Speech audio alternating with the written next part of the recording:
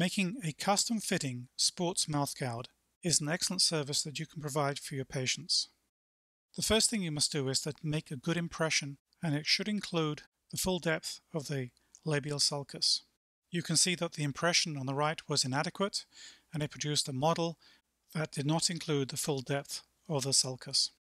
To get the best vacuum sucked down, you only want to have a thin base on the model. You can either drill holes in it, alternatively you can trim the base so that you open up the palate. And this is actually what I prefer to do. I find this gives me the best suck down. The mouthguard material comes in different colors and is about 4 millimeters thick. I find that most people like the clear mouthguard, but please do ask your patients and find out what they would like to have. Before you put the mouthguard material into the vacuform machine, you must first take off the paper backing on both sides. Put the thermoplastic material into the vacuform machine, centering it over the plate, and then close down the top half of the device. Lock it in place, raise up the tray and turn the heater on. Now watch out because this heater gets very hot. Put the clean dry cast onto the base of the vacuform machine. While you're waiting for the mouthguard material to heat up, get your cellophane sheet and water ready. You'll be using that later on.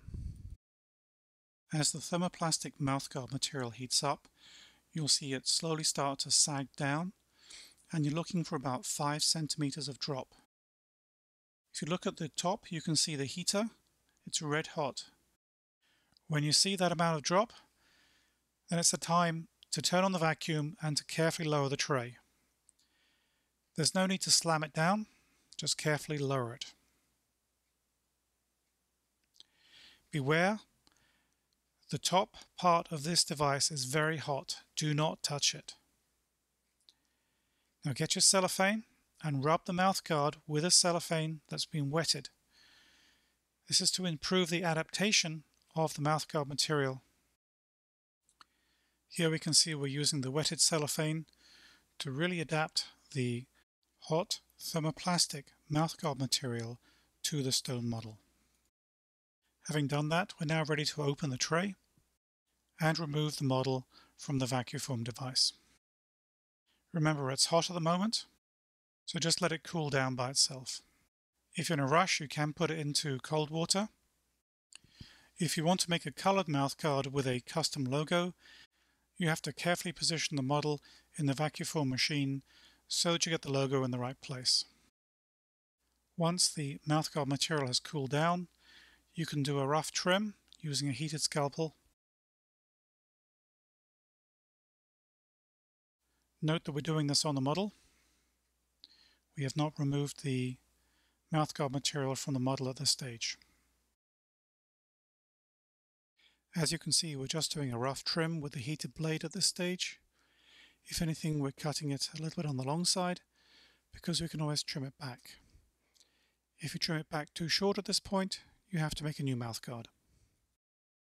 Now we're ready to remove the excess material and here we can see the mouthguard on the model. Take it off, inspect it. The border should be about 3 millimeters short of the bottom of the sulcus. Please take care when changing the blade, don't cut yourself, and also don't press the sharp point into the workbench as you will damage it. Instead press it down onto a flat metal object. Now we're going to be putting a 45 degree bevel all the way around the edge of the mouth guard. The blade is heated and you can see how it cuts through the material easily.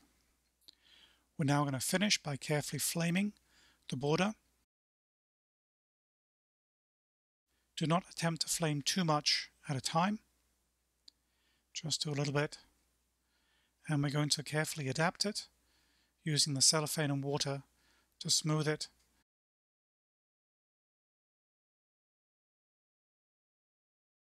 The mouthguard should be nice and smooth with no rough edges or sharp regions that might cause the patient some pain.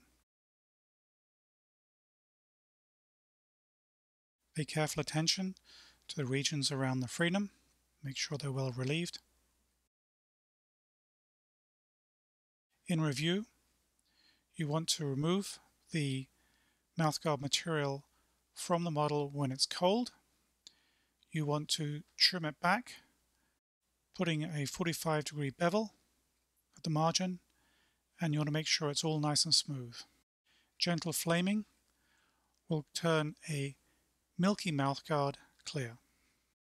At this time, I'd like to thank the Dalhousie Production Lab for helping make this educational video for you.